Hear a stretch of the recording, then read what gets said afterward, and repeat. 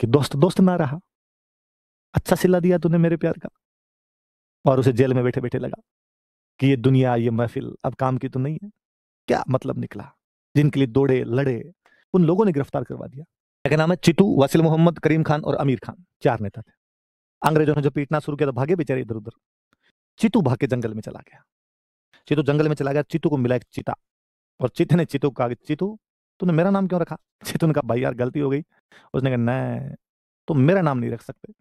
तो चित्तू को जंगल में चीता खा गया था। लिखो इस चित्तू के आगे लिखो एक जो लाइन छिड़वाई। वास्तव में हँसी की बात नहीं आप सोचो सर मज़ाक करते रहते। वास्तव में खा गया था लिखो। इसे जंगल में चीता खा गया था।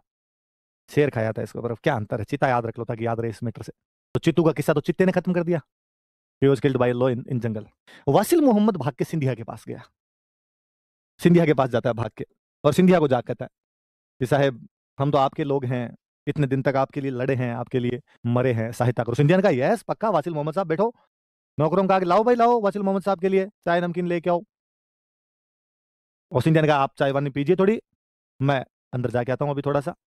सिंधिया अंदर गया, जाके अंग्रेज़ों को फ़ोन किया कि वासिल मोहम्मद बैठा है। अंग्रेज़ आए, वासिल मोहम्मद को पकड़ के ले गए, जेल में बंद कर दिया और वासिल मोहम्मद सोचता है कि दोस्त दोस्त ना रहा।